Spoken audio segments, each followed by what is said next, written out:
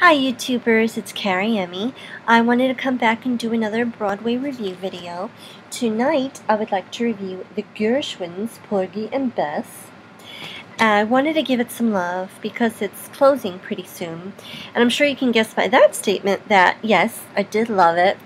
Um, I have to admit, being the uh, Broadway theater lover that I am, I didn't know a lot about Porgy and Bess before I had seen this. Um, I knew the big, you know, popular songs like I Got Plenty of Nothing. And um, I had actually never seen or heard a production of Porgy and Bess before, so I didn't really come in with any preconceived notions. I came in to just uh, enjoy a night at the theater. I mean, who who wouldn't like the Gershwins if you're predisposed to love musical theater? So, hello. So I loved it.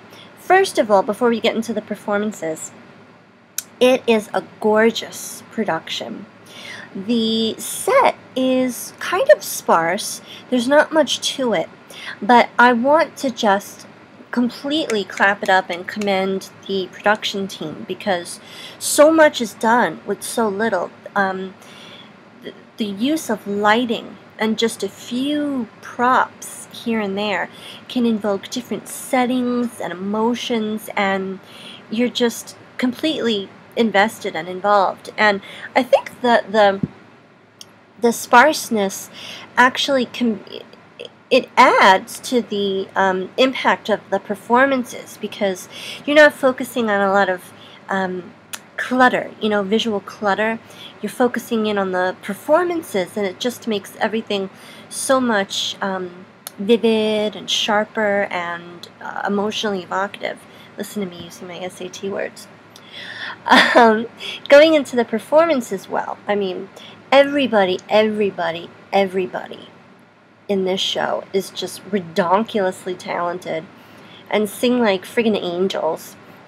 But um, you're here to just watch a short video, so I'll give you the tidbits about the people that you really want to know about. Audra McDonald, first of all, she is just so gorgeous. So gorgeous. And again, I mean, hearing her sing live, it's, oh, her voice is just, that must be what it sounds like in heaven. She is gorgeous. She is such a fantastic actress. Everything that I've seen her in, you completely buy her as that character. She's just so good and such a chameleon. She just sucks you in and you just believe that she's anybody that she's playing. The one and only misstep I've ever seen her do was, quite frankly, I thought she was a little miscast as Deena in the concert version of Dreamgirls. I know a lot of people have said that. Still think she's fantastic, but anyway, She's wonderful. I love her. She is just gorgeous, will move you to tears, just layer upon layer upon layer of the performance, and she's singing in the original keys. It's just like, oh, you couldn't ask for anything more to invoke the Gershwins. Norm Lewis, Norm Lewis, oh, so gorgeous too. And the two of them, I mean, just look at this picture.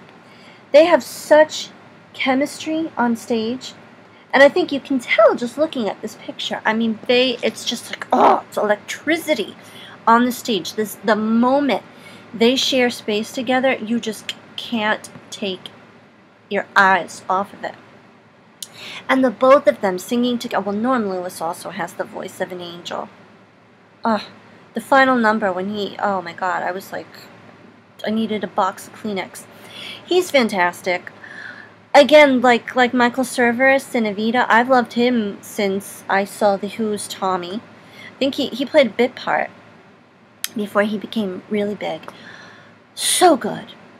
David Alan Grier is a revelation. Oh my god, I loved him. He's fantastic.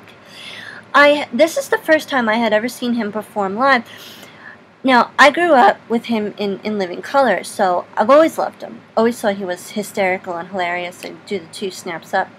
But he is such a talented performer and singer, and his um, interpretation of Sporting Life is so compelling and it's just like it's up there with Cab Calloway. He's that good. He's really, really, really that good. So some purists of Porgy and Bess may have some quibbles because um, it is a very abridged version.